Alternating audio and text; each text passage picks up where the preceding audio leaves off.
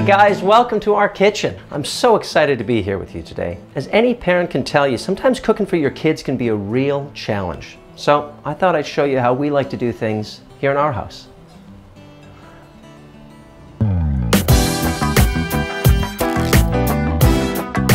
Got our fresh ingredients here. I always like to go organic when I can. I know it costs a little bit more, but I always think it's worth it. So I got my oven preheated to 375 degrees. What I'm gonna do is I'm gonna preheat my cast iron pan here on the stove. Now while that's heating up, let's prepare the salmon. A little salt, a little pepper. You don't need much to bring out the flavor of the fish, especially if you're using a nice wild salmon. Extra virgin olive oil here across the top. It's gonna keep it from sticking to the pan. So now what I'm gonna do is I'm gonna place it flesh side down in the hot pan, just like this. Oh, listen to that just beautiful. What I'm doing right now is I'm searing the fish, which is gonna seal in all that delicious moisture, all that delicious flavor, all that good stuff. Once that's done searing, I'm gonna flip it back over and I'm gonna put the whole pan right into the oven. Now while that's cooking, I can prep our slaw. I've got our red cabbage, some green cabbage, some carrots, some red peppers, a little kale, I like to add that for flavor and nutrition. So what I'm gonna do is I'm gonna mix it up with a little sauce. I have this Nuoc Cham sauce. Hey, you saying that right? I, I have no idea, but it is delicious. I'm gonna stir all these things up. Oh, the flavors coming off there are just remarkable. Let's check in on our salmon, shall we?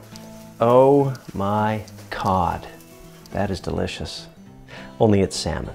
I'm gonna take that salmon fillet, I'm just gonna place it right there on top of the slaw. Did you look at that? Oh, get a shot of this. This is magical. A little salt on the top there to taste. Healthy, nutritious, delicious. Now, if your kids are anything like mine, they're not going to want to touch this with a 10-foot pole. So what I'm going to do is I'm going to avoid the 20 minutes of arguing back and forth trying to convince them to eat it, and I'm just going to scrape the whole thing into the garbage bin. Compost if you have it. Now, I also like to let out a disappointed sigh as I'm scraping the remnants of my hard work into the trash bin. It accomplishes nothing, but it does let my kids know that I'm probably going to yell at them later in the evening for something unrelated due to the disappointment and the frustration that I'm bottling up inside of me right now.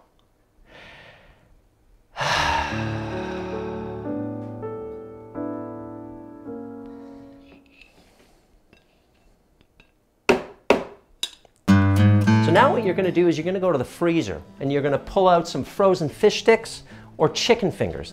I have fish sticks on hand for myself. What you're going to do is you're going to dump these onto a random baking tray that you have lying around the kitchen. You're going to pop this tray into the oven, which is still hot from your previous failure. Whew. Yeah, just as easy as that. In 12 to 15 minutes, you're going to have a meal that is lacking in nutrition and flavor, but your kids are probably going to eat it. Well, thanks so much for joining us. Please feel free to let us know some of your favorite recipes that your kids refuse to eat in the comments section below. We'll see you next time. That was a big waste of about $20 worth of salmon. It's Still good, I think, isn't it? Oh, it's delicious, even when it's covered in trash.